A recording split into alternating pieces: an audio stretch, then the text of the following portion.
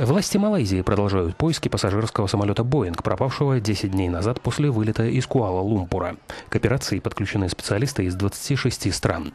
Пока определить местонахождение лайнера не удалось, как и то, что с ним произошло. На борту самолета, выполнявшего рейс Куала-Лумпур-Пекин, находились 239 человек. Следователи считают, что лайнер мог быть угнан одним из пилотов или посторонним лицом, имеющим навыки управления воздушным судном. В домах командира, экипажа и второго пилота были проведены повторные обыски, а в доме командира командира был изъят авиасимулятор. Известно также, что последними словами, прозвучавшими в кабине пилотов и услышанными на земле, были «хорошо, спокойной ночи». Предварительное расследование показывает, что в последние минуты говорил в основном второй пилот. «У нас есть эта запись», — сказал глава компании «Малайзийские авиалинии».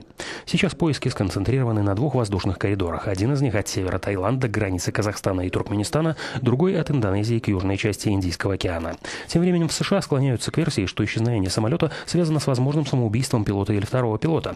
Глава подкомитета по борьбе с терроризмом Американского конгресса считает, что самолет был умышленно направлен в наиболее удаленный район океана с большими глубинами, где найти обломки лайнера будет практически невозможно. А если самолет не найдут, нельзя будет доказать и суицид. Следовательно, родственники пилота-смертника смогут получить страховку. Подобные случаи чиновники признают неохотно.